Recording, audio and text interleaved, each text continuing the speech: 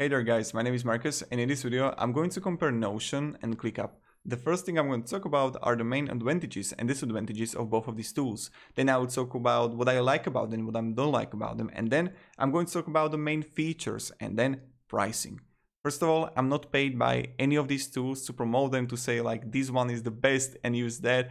Both of these tools are really great. You're not going to make a wrong decision if you choose ClickUp or Notion. So without further ado, let's start. Now, what I like about both of these tools, this is something crucial for me because I like to work in the evening and plan my days and weeks and whens in the evening. Both of these tools have a dark theme and that's for that's perfect for me. When you would go here, like you see it here, this is going to burn your eyes. And having the option to have a dark mode is really good. Another thing is, uh, what I like about Notion is the complexity that you can use it for. I definitely recommend if you like complexity and if you're someone who loves to go deep into the program and into the productivity program, check this guy called August Bradley.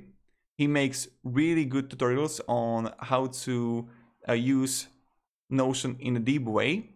And this is this is advantage, but also disadvantage of Notion.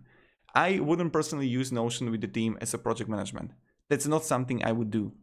I would definitely use ClickUp for project management only because what ClickUp offers are lists, boards, then you have Gantt charts, timeline charts, activities, mind map. You can also use tables here and also uh, use formulas. Yes, you can also use formulas in Notion, but it's much more clunky is the right word for it. Not that easy and simple to use. And with people like like imagine having five, seven, ten people in Notion Notion is really good for productivity, for personal management. Hell yeah, I'm using that for personal management. I get like every single day here what I'm going to do, but I wouldn't use it as a project management. No way. And this is just me, my my personal preference. You can do like you can think different. And you're right if it's if it suits you.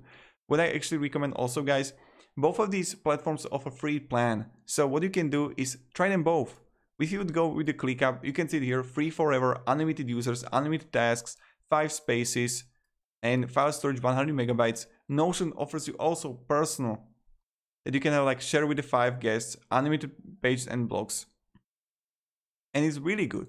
Now, what I like about, let me show you, what I really like about ClickUp personally is when I'm going to open a task, you can do the time tracking here.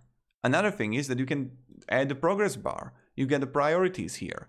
And this is something that I like about it. Both of these tools offer also Google Play application that you can use.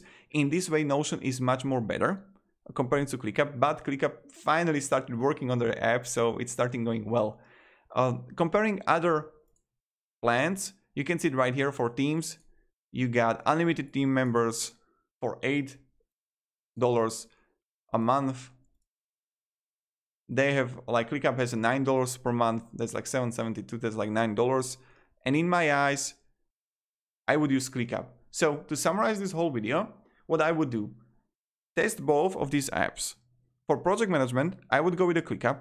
For productivity tool, personal management, for myself, I would go with the Notion. But ClickUp is fine too if you want to. But that's pretty much it. So thank you very much. Write me down below your thoughts. What do you think about Notion and ClickUp? I'm really interested in that. Have a great day and goodbye. See ya.